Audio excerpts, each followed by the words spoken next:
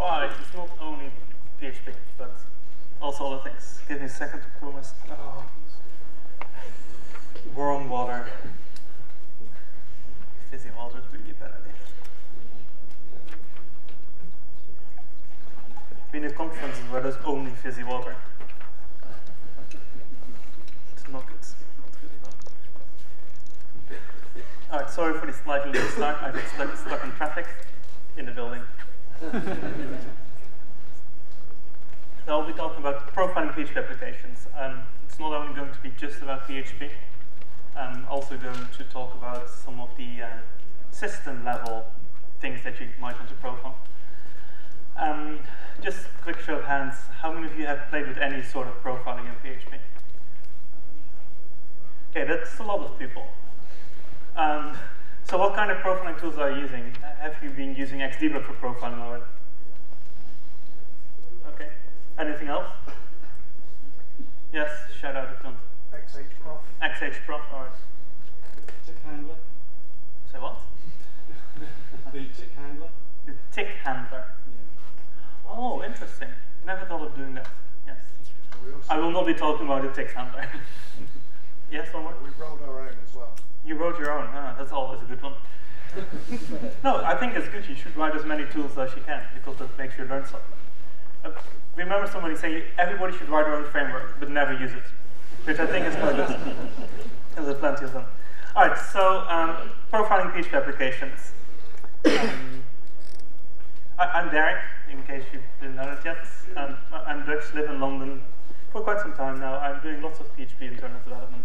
At the moment, I'm maintaining a PHP driver for MongoDB. If you want to hear more about that, uh, I will talk about that tomorrow. And I will also do some other interesting things once in a while, uh, and lots of PHP things, PHP extensions. All right, let me skip over that. So when I was doing research for this talk, for the first version of the talk, a couple of, no, not a couple of years ago, a year about ago or so, uh, I typed into a Google uh, optimize PHP. How many of you have done anything like that before? So what is always the top thing that shows up? What's the top debate? Did I hear echo versus print? echo is faster than print, right? So how many of you actually have changed all of your code from print to echo subsequently? No, wait, hmm. that's a good thing. It's not really useful. There's also some very interesting things that people show, like pre-incrementing is faster than post-incrementing. True, but uh, how much does it actually change you if you also have a database query? Okay, this will actually give you some benefit if you run this 200 million times in a loop, but who does that? Um, also some other things, like uh, methods in derived classes run faster than ones you find in the base class. It's absolute nonsense in the first place, because it can't be logically be faster. But some benchmark proved it, so it must be true, right? Probably the person that did some benchmarking on a laptop. Because you know that that's why you should do your benchmarking. And this one I found particularly interesting as well. It's a function call with one parameter, an empty function body, takes about the same amount of time as doing um, six to se uh, seven to eight, how can I say six? Seven to eight local var operations, where they just increment a variable. And the method call is about 15 times as slow. And then the same article continues to say that um, not everything has to be OOP, because it's often just overhead and each method and each object call consume a lot of memory, but it of course takes some memory. And then it says that you should avoid function calls. Because clearly that is not something that you want to be doing. Alright, so some of the things optimization tips and tricks you find are true. They will actually give you some, uh, some benefits. Some of them are dangerous, like this one, because you clearly should not always, sometimes, not always, optimize for speed. Maintainability is at least as important, right? Making things fast, you can always get faster hardware, but you can't make things more readable if it's, or because you need to spend more time on that yourself. Okay, so I can only say one thing about most of those things, and that it is this talk is not recorded, is it? I'm kidding. Okay, so looking at all the small optimization tricks are, are cool, they're interesting, you might learn something from that, but it is not a proper way for you to tackle the problem that the application is being slow and you need to do something about fixing it. And in order for you to actually make optimizations, you need to figure out where it's necessary, where it is necessary, and there's a, few other points here as well. So first of all, you need to figure out where the things are actually running slow, because if they're fast, go to the top. Mm. Um, then you need to figure out whether it's actually your code that is being slow, because in the, in the modern web application, there's not just PHP running. There's web server involved, there's often a database involved, there can be network latency involved, there's many, many things that could make things slow, and it doesn't always have to be your code. In order to do some optimizations, you need to understand your code, your application, you need to know, understand the paths, how the code flows, and in some cases you know that up front, but in other cases you don't, and you get dumped a lot of code. That happened to me a few times, and you get lost, and then you need some tools to figure out what's going on there. Once you then figure out how your application works, you can figure out which parts are being slow, if they are, and what you can optimize. Right, so let's go back out of PHP and go back to the operating system. Or in this case, it's not the operating system that we'll be looking at, it's mostly everything from the client to the web server to PHP. And I, I like to use a tool called Siege for this. There's a few others that are there and so there's HTTP perf and JMeter, HTTP. I've never have used, actually used JMeter, but I've used both Siege and HTTP perf and also Apache Bench. Uh, I prefer Siege over Apache Bench because it allows you to benchmark more than one URL. Apache Bench, the only thing it really does is handles one URL fast, as fast as it can with numerous concurrent connections. But it doesn't allow you to um, test the performance of your whole application because one URL is not your whole application. There's at least a front page and uh, some static text pages involved, or very lightweight dynamic pages. And then there's pages that are really, really slow because they do lots of templating, they pull in lots of data streams, right? So instead of just hammering one URL to see how fast your web server serves like your index.php, makes a lot more sense to test as many URLs as you can. And what Siege allows you to do is you can create a file with all the URLs that you want to do. If you're running a CMS you, or written one, you can probably create such a file. I'm not saying that you should have every URL in that file, you need to have a good sub subsection of the different types of URLs. Um, so that's what I've done here. I've created a file with four lines. It's only showing three, because I forgot to copy and paste the last one. And um, you can then tell Siege to use this file. I, I call it 10.urls.txt. And with Siege, you give it the number of uh, concurrent connections, which is four. And then you have uh, 10.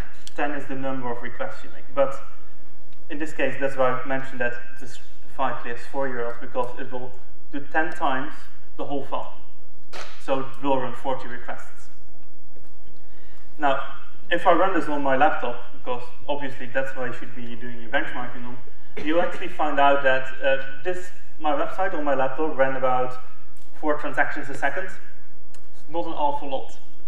And then I figured out that I actually wasn't testing my local machine. I was at a conference somewhere with really slow internet. So that's where the network latency comes into play.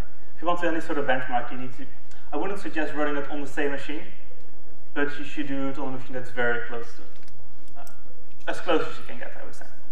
Now, obviously, when you get something like this, you also get some information about throughput, 40 megabytes a second, which is not a whole lot if you're on a 100 megabit connection and things like that.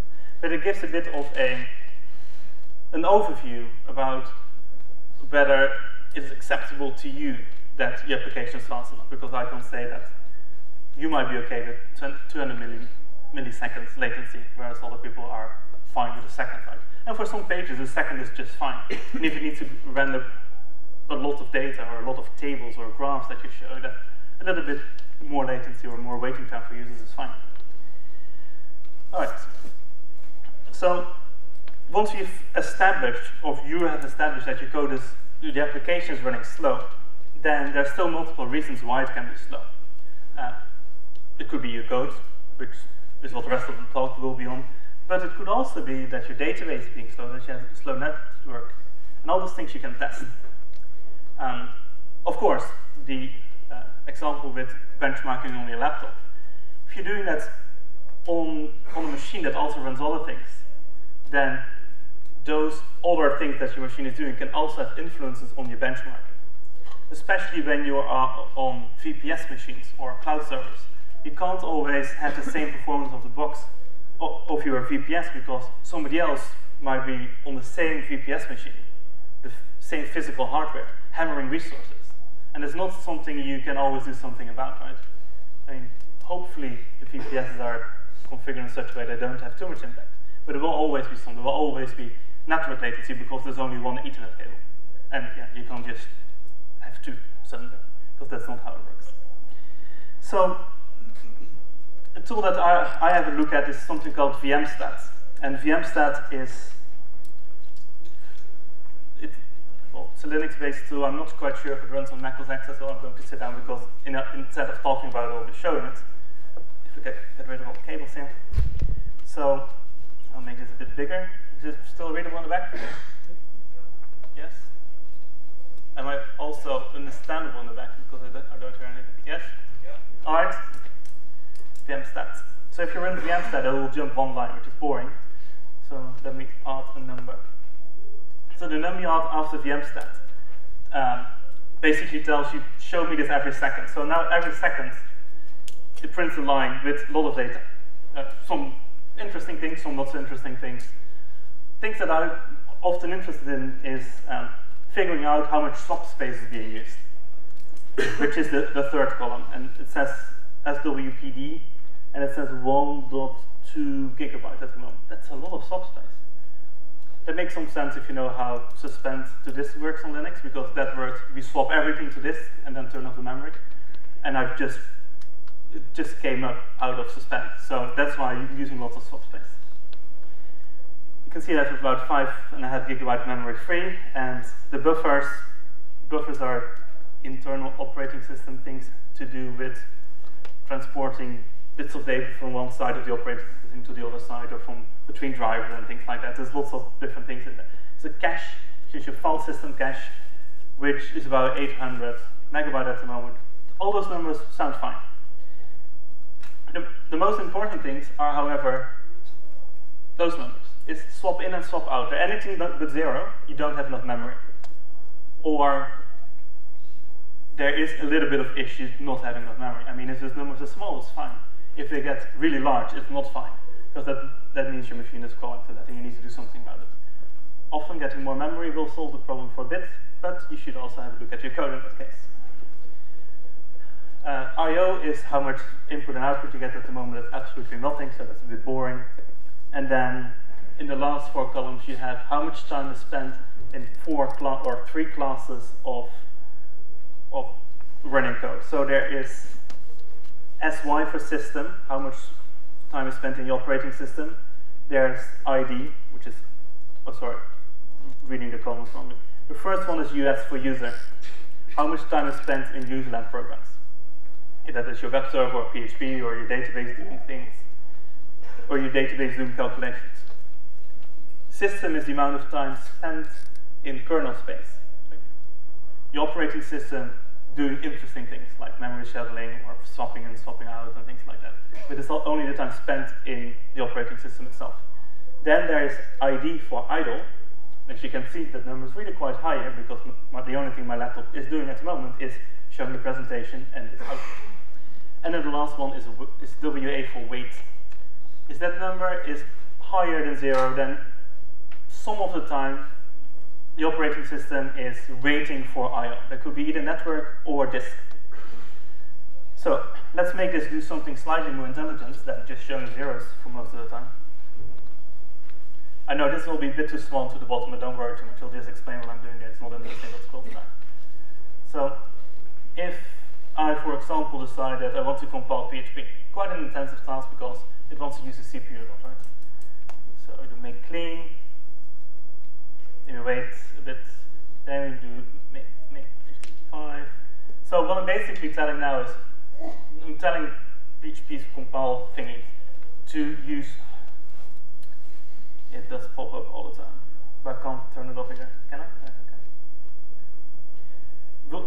It tells the compile system to use five threads at the same time, but each of the threads will consume as much CPU as it can. So that basically means if I run this, it's also really quite fast because quite a fast machine.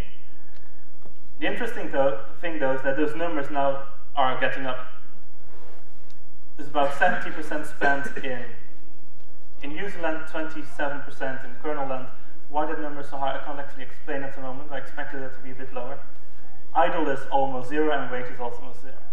Now, first time I gave this presentation, it was on an older laptop, which has a spinning drive in it, and then actually the WA was quite a lot higher because lots of time was actually spent waiting for this. Now I have an SSD. So that is not a problem anymore at all. So sadly, this demo is not so interesting anymore, but I'm not getting a slow hard drive ever again. okay, so to make some sense out of those numbers, right? If the first numbers all together approach about 100, that means that the CPU is that much in use. So if that's very high, that means that your application or whatever is running on your total set of programs running on your are using the CPU to its full extent. That often means that you probably can benefit from either faster CPU or spread it out over two machines, or it can mean that your code is so slow that it just uses the CPU all the time. And that is a hint for you to have a look at what to fix. Now, if the WA column is very high, that means I/O is the bottleneck. There can be very many different reasons for that. It could be that the part of your application is scanning the file system for something, which is really slow. Um, because then the programs need to wait from the disk to respond. Again, an SSD helps wonders here. Um, but it could also be that your database is reading lots of things from disk, or any of those things that lots of I.O., lots of disk I.O. most of the time is involved, because all the I.O.s tend to be fairly fast. So if you have lots of disk access, then in those cases that could be your code, so you have to have a look at that, but it could also be a database. And then you might want to tune something there instead and that probably also means getting more memory.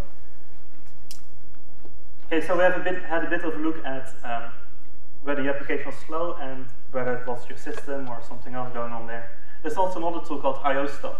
I'm not sure if I have it installed. IOStat. I do. Let's see. Maybe just one second. IOStat shows something it doesn't look so nice, so that's why I don't like showing this so much. But what it basically does is it, again, tells you how much CPU they use, but it gives you more information about uh, the amount of disk writes. So SDA for me is my, my hard drive, my SSD drive. And it tells you how much kilobytes a second is being read and written and read. And oh, sorry, that's per second, and this is in total. So if you now do lots of writes, then we'll get it. And it does it for every second separately. So if you, it was instead of say there's a second, you 60 seconds, you look at the read average over the time. It's also interesting to look at, and there's a few other flags that gives you even more information. I don't tend to find it so useful as, as, as VMstat. so now we need to know a little bit more about our application. Somebody has given you a large blob of code, possibly including some framework that you have never seen before. And in those things, yeah, what do you do, right? Um, if you know a little bit more about the framework, then there's some tools to figure out which part of the application are being which will be shown first. Now we'll be looking at some extra, external tools that are not part of your application or your framework or whatever you're doing, but give you tools to check what is happening in there. Right, so something called timing points is a very, very simple thing. It is the equivalent of, set, of having before every part of the application, it could be reading configuration or assembling templates, start a timer and stop a time. And then, because you have the time in both occasions, you can figure out how much time it took. Very simple thing to do. But it's important to not test it only once, but you should monitor it over time a little bit. Because sometimes if you add new functionality to the application, that might be working really well because you have proper unit tests, right? That you write your unit tests. But unit tests don't test for speed. That doesn't mean that the unit testing tools can't do it, but generally that's not how they're being used. So with the timing points, it's very simple to figure out over time where the application is being slow, which is something you need to monitor yourself. Uh, or write some clever code for doing that, because I don't think there's anything standard, really. Right, so timing points, this is something from eZ Publish. I, actually, this is experimental, so I'm not sure if that's made it in yet all of the versions have ever had it, but it doesn't look so pretty. Um, so basically what they do is for every step in their code, Uh, let's see if we can figure out. So they collect all the MySQL queries or MySQL queries. They check the looping results, like eZ Publish iterates over the MySQL results and that has an, its own block. Template processing is a big part. Loading configuration files is a big part as well. And all of those things are then even broken up further. So like loading the cache, which is quite, quite a lot of the whole percentage of the application. Right? It's almost 10%, which is probably better than having to recalculate everything, but it's still quite a high impact. And that's actually not a bad thing, because if, if a lot of time is spent in your cache and your application is fast, that means your caching is working really well. Um, but there's some other things like finding any files takes 7, 7%, which is quite a lot. And I know it's been getting better over time things like that. This gives a very quick overview about which of the applications are being slowed. Uh, it's also built into Symfony. I can't find any other screenshot than from Symfony 1.0.0, uh, and I have not in installed Symfony. So if anybody uses Symfony here and has an updated screenshot for me, please let me know. Um, but they do very, very much the same thing. They, they go a little bit further. They, they go have all the sections that you have on your pages and things like that. I don't know Symfony very well, but uh, it's the same kind of idea. There's also some tools and libraries available that you do it yourself. I, I think ZenDebug allows you to do this as well, starting stop timers. This is a very simple example from Apache Zeta components. Um, I won't go over the whole example, but you can see that with not too many lines, you can create quite detailed reports, and it's not a lot of effort for you to do this, and can still be very useful. Right, so when we have looked at your timing points, then yeah, it might help you, but there's another few things that you can look at as well. So there's a tool that I like to play with. It's not so useful anymore as it used to be, and I'll get to that in a second. There's a tool called inclued that is not misspelled. It is actually spelled like ed at the end.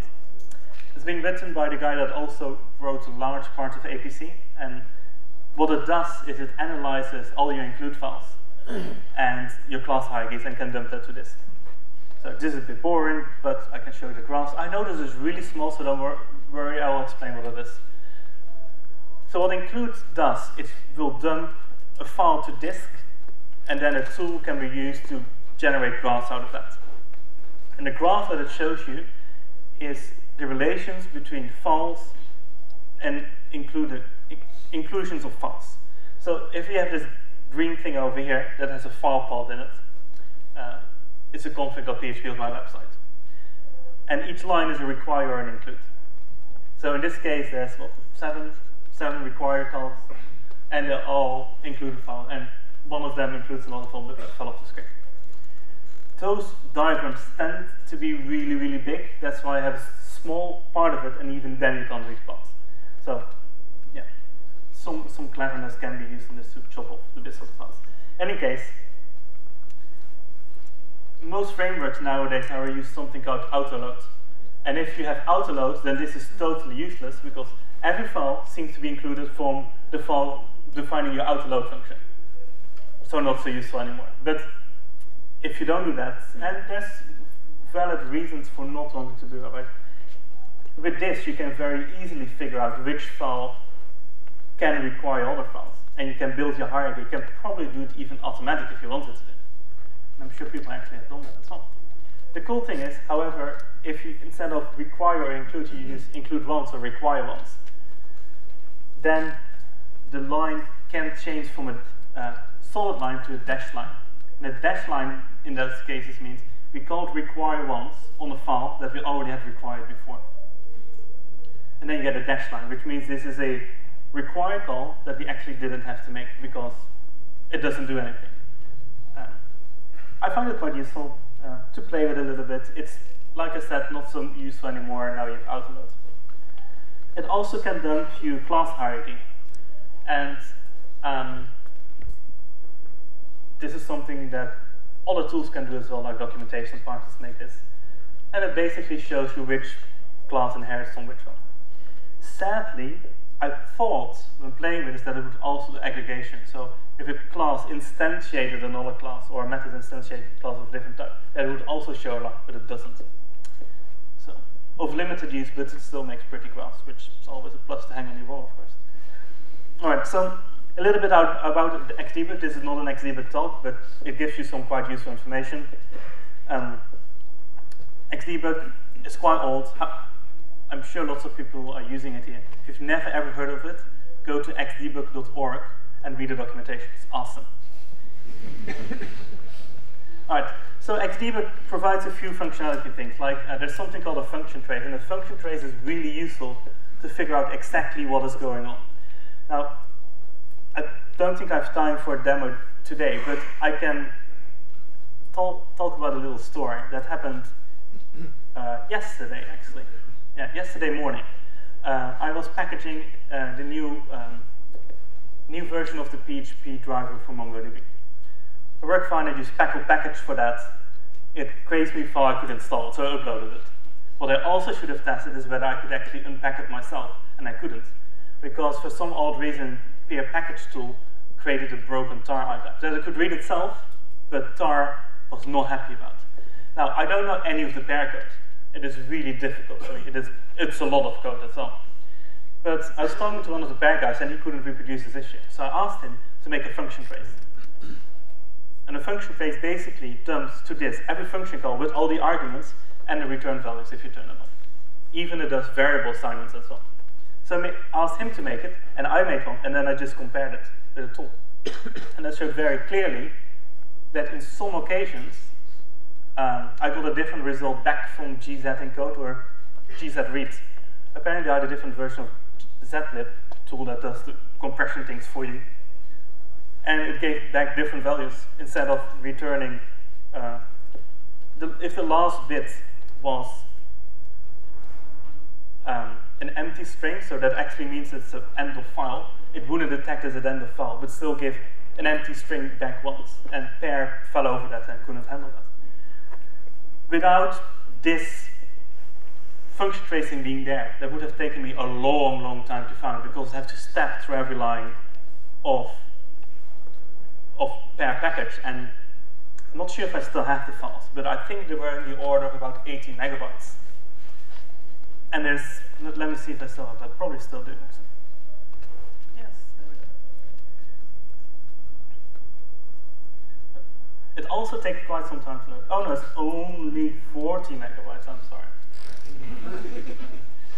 but still, it takes VI a long time to load. It actually doesn't take so much to load, but um, so the, the, only thing I had to do with it, I had to chop off the first bits because it shows you the time index and amount of memory being in use, and that's never going to be the same. So it made it really difficult to compare. What I also had to do is replace all my file paths because his were different from mine, and then if you then compared it with a tool, you couldn't see the difference. So with this, what I did is I added tool called meld. Ah, oh, this will churn for a bit, but what it does, it will compare every line, line by line. It's very useful to compare different code repositories, but it also works very well in files. And this will just read, and this reads about 100 megabytes, so it takes some time. But both of those files are then being compared against each other. And you can see line by line almost where the differences are, and that's really, really useful cases. And I'll, I'll, I'll abort this because this will go spinning for another five minutes, and we don't have time for that. How much time do I have? 16 minutes. Ooh, speed up a bit. So function traces are very useful um, to find. So the function traces have a bit of other options as well. It can dump it not only in a very simple file to read, but you can also do it as a tab separated file, which then can write tools around that can analyze this and, and cool things about that. On my last slide, I have um, a link to my website that has lots of resources about all those things, and it has some links to tools that you want to play with as well. But I'll get to that in a second. So this one is, there's a trace for analyzer that's bundled with Xdebug. What it can provide you is it does some analysis on the, on the trace file files, and it can aggregate it by function name, and then basically tells you how often this function was called, how much time it took, including calls being made from this function, which is inclusive time, and there's own time, meaning the amount of time spent in this function, excluding function being called from this function. Now, you can also see there's a memory column in here, but I don't, don't want to talk about that because it's really, really unreliable, not because Xdebug is broken, it's because PHP's memory manager tends to just free random stuff once in a while. And you can't really rely on those numbers, most of it. I guess you can turn it off, but I've never tried it. So Vala Xdebug tools has a bunch of different tools that can also read those um, files. Again, those links are all in the, in the last slide, so you don't have to write them down.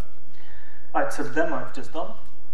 So profiling, there's different tools for that as well. Um, if you have used Xdebug profiling, then cool. But what I'd like to start with is something called XHProf. So XHProf was originally developed by Facebook. I don't think they quite maintain uh, the profiler extensions themselves anymore because they now have HipHop.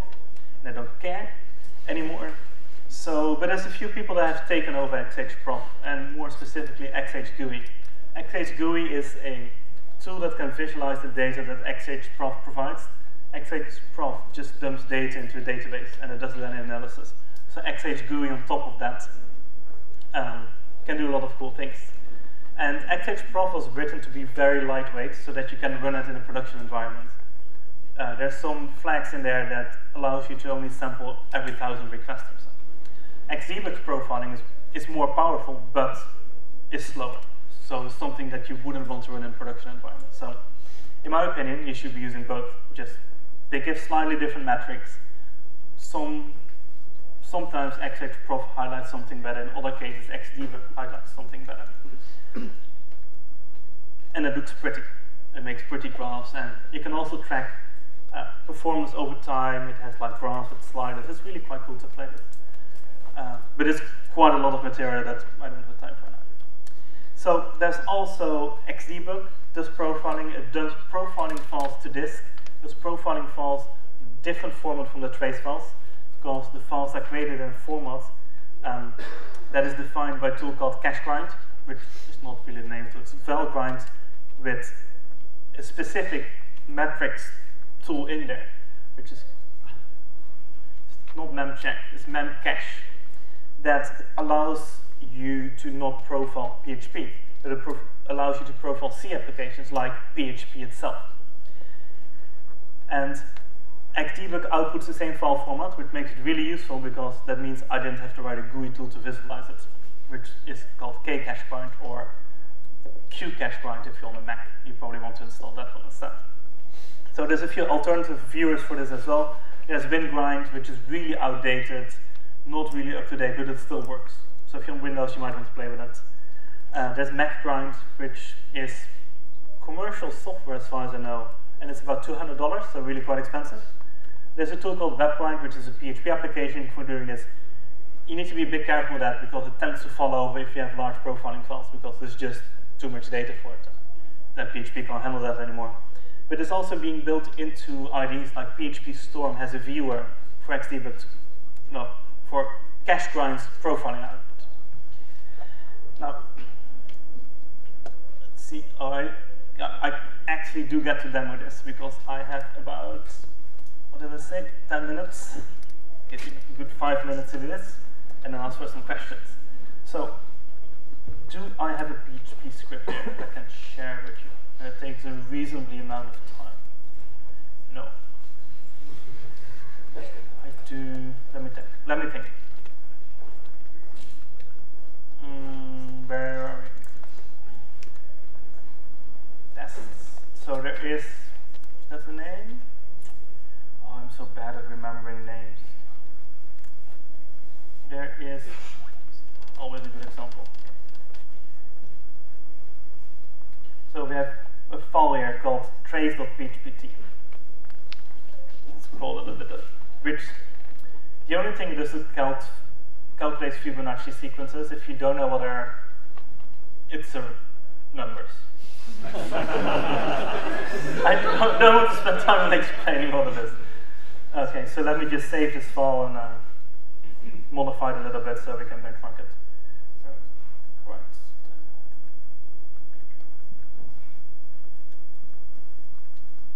And we don't need that or that. What the hell would I, oh, that's for my test. Okay. So if I run this script, and let's hope it works in one go. It doesn't output anything, how annoying. Echo or print? I could also use sprintf. right, so this outputs, an, okay, uh, oh, I can see the problem because it's all the bottom screen. If I run this, it outputs a big number. It's a 50 Fibonacci number, or 51st because I think I got it wrong. But it doesn't matter. So now for profiling this, what you have to do, first of all, you need to make sure that you have XDebug installed, which I have. I'm also running a bit of an interesting PHP version, but again, that doesn't matter. So when I run this, I'm turning on the profiler, which you can set it in PHP INI or an htaccess file, so, or if you do it for a web interface, you can set a cookie. So the documentation explains all of that. So when I run this, so TMP, then something fell off the screen, outputs a number, but it also creates a profile file. Now the question is, which one has it just created? I solved that by deleting them all and trying it once more. They're not important, so now you'll probably see there is none left. So I did something wrong. Ah, there we go. So this creates a file. This is just created, because you've just seen me create it, right? And there's no magic involved. It creates this file that you can't really read yourself, which what you can do is you can call kcachegrind on it, or on a Mac, qcachegrind, which is the same tool but looks different cache grind. Open this then. It is not the most interesting profile because I've only got one function here, but it does give you some interesting um, things. So the same columns exist. This is time.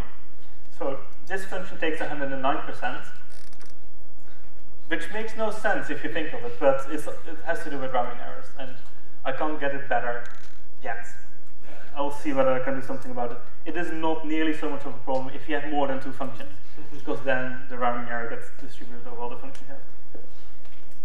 So the first column is the amount of time spent in this function, including everything that's been called from this function, which may will always be 100%, or in this case 108.79%. But just think that is 100%. Um, the second function is being spent in 98%, of which 89% of the time is spent in this function. Now, obviously that should be the same number, but it isn't because there's some overhead in calling function in PHP as well. Now, the interesting thing is uh, you can actually make some graphs out of this.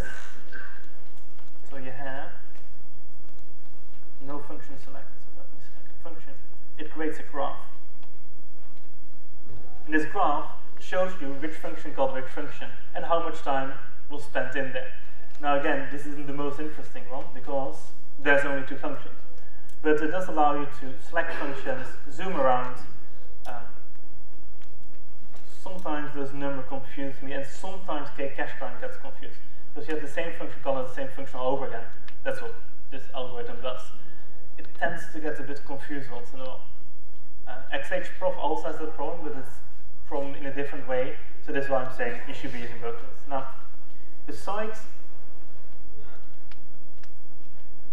yeah, this is just some random output. It always does.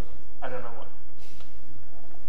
Now, now I've showed you this very simple PHP to compile, a compile profile. But if you use a tool called Valgrind, tool is memcache.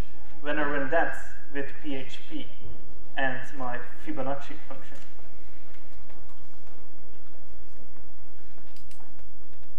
hmm, Did I not name it correctly? I always get the one wrong, I can never remember it, so. Tool, this is my documentation. Do you see any tools?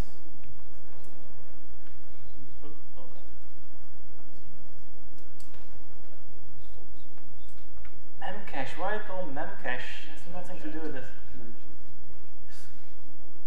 Memcheck or call grinds. Yes, that's what it is. Sorry, I always get confused with that though. So it dumps you a little bit more output. it's the same big number, luckily, because that's what you expect. So if we now run kcache kcachegrind on, oh, it creates a file called callgrind. Actually, PHP Xdebug's output also starts with callgrind, just because the tool was silly and wouldn't want to load any other file if it wouldn't start with callgrind. But that did change that. So this shows you a bit more output because this doesn't profile PHP itself, but it profiles, no, it doesn't profile your application, it profiles PHP itself. And it has a lot and lot of things in there. This is all C stuff, and this is a lot more difficult to read if you've never seen this before. But there's a few interesting things in there. Like you see xdebug execute and execute. And execute is the C-level function for calling a function. So in this case, there were 97 of those, which makes sense because main is one, and then the 96 that you saw from my pre previous profile. you also see things like malloc, which is allocating memory, things like that. If you see lots of Zend hash, Zend hash are the way how PHP stores arrays internally, which is the caching thing. And this is a lot lower level, but it shows quite well in case you have things like database calls. Because Xdebug can't show you that, because it can't get into the database queries, whereas Valgrind can. All right, so that was the demo so far. Uh, there's many other things. What I would advise is just to play with it. Okay, so I have a big QR code. If you scan it with your mobile device, I want people use it as well. And I'll make sure to leave it on screen longer than five seconds so your phone can actually focus. So the QR code goes to this URL, by the way, if you want to write it down. On that uh, URL, you get to see where you get to see my slides. You get uh, a list of resources of the things I've been talking about, and it has a link to joind.in, which is really awesome. Which is a place where you can leave feedback.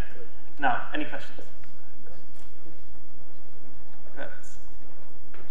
Yeah, um, well, yeah, it doesn't matter. Um, I've, I've used a tool called APD, and I'm just wondering, not many people mention it, but I don't understand because I thought that the benefits of APD were huge because it actually plugs into the Zend itself rather than just floating at the top. Um, that, that's the way that the guy who wrote it sold it anyway. Um, but I'm just wondering, what, you know, are there any, why, why hasn't it? Uh, I never tend to think of it so much. APD is, is a useful tool. It is it, it, sits on the same level as Xdebug does for profiling. Right, okay. But because it's only meant for profiling, it actually will do it a bit better. However, I don't think its visualization tools are so nice as Xdebug and Valgrind do. Okay. So, but yeah, it, it is something I should mention because it's still a useful tool, and I think it still works at PHP 5.4 as well. I've never tried it. Doesn't 5.3, you just need to change a little thing in code. Oh, well, we'll fix that. It can't be that difficult to do. From 5.3 to 5.4 is a bit more of a change. Okay. Yes, I should mention APD. Good point. Yes. Does the act of like profiling the code change the speed of its execution? And is there a way of filtering that out? His question is whether enabling the profile actually changes the speed of execution, and whether there's a way to do something about that. And yes, it does influence that quite a bit actually, um, but it tends to influence it all across the board in about the same percentage. Um, I know XHProf and XDebug both have have the overhead in slightly different places. So again, this is why you should be looking at both. Um, XHProf is better at it because its only thing is actually doing profiling. XDebug does a lot more. What I want to do in the next versions is to make sure that you select a profile that you want to use XDebug for. You set a profile for either debugging or development or profiling, and so I can disable all the other things to make it less of a problem. But yes, it does influence the execution speed. Okay, anything else? Yeah, there's one more. Uh, which tool would you advise to use for uh, debugging or profiling memory usage? Which tool would I use for profiling memory usage? It's really difficult to do that because PHP doesn't tell you properly how much memory it uses. Um, if you turn off the garbage collector in PHP, then Xdebug results are mostly reliable. But it's not going to be 100% accurate. And it's not something I can do anything about because, yeah, I just don't know when PHP frees things. And sometimes it might free things in a different function. And although that for the language is logical, it might not necessarily be logical why it does that. Because there's lots of clever reference counting involved. Um, so that's why there's nothing better as far as I know. Alright, anything else? No? Then um, I hope this was useful. Thank you very much. Um,